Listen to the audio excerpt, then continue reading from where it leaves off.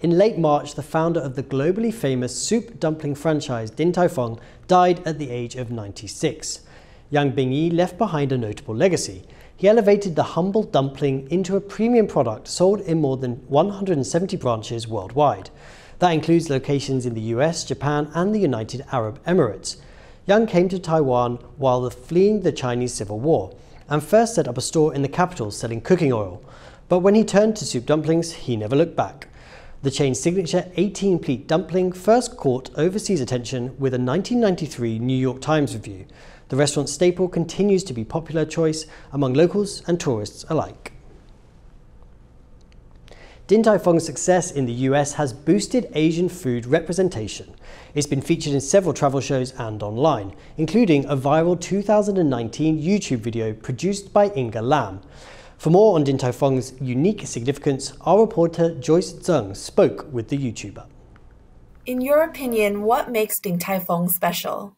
What Din Tai Fung has done really well is that it offers this great introduction to a side of Chinese cuisine that people here don't or that, that people here aren't familiar with, right? And then so even if they don't know Ding Tai Fung, I feel like a lot of people know about xiaolongbao and soup dumplings because of Ding Tai Fung, you know, um, because people rave about it, especially here in the States. I feel like people have this perception of Chinese food. You know, I think people generally think that it's a certain type of like Chinese American. I think Ding Tai Fung for me is very much like comfort food, but like elevated. And like the skill level was insane. Like we saw somebody just like pleating dumplings. I think they could do like, I don't know, like so many in a minute. I'm not even talking about like an hour, I'm in a minute. How has Ding Tai Fung influenced your work? So BuzzFeed, this sh- BuzzFeed has a show Worth It, right? Uh, when Worth It was in Taiwan, and so I sort of helped put like the spots together and i think Ding Tai Fung was one of the ones that like we definitely wanted to go both because of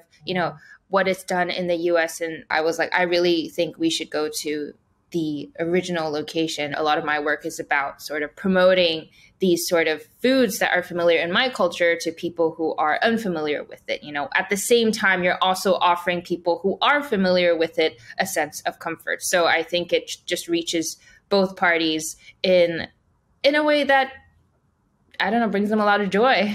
Throughout your time on YouTube, have you observed any changes in Asian food content?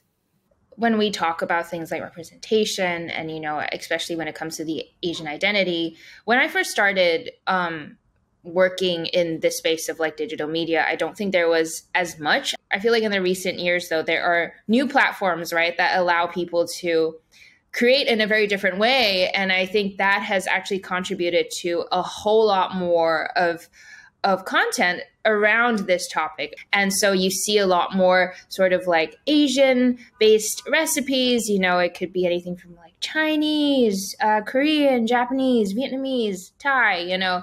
Um, and now i feel like people are a lot more vocal about these things now that they know a lot more about these dishes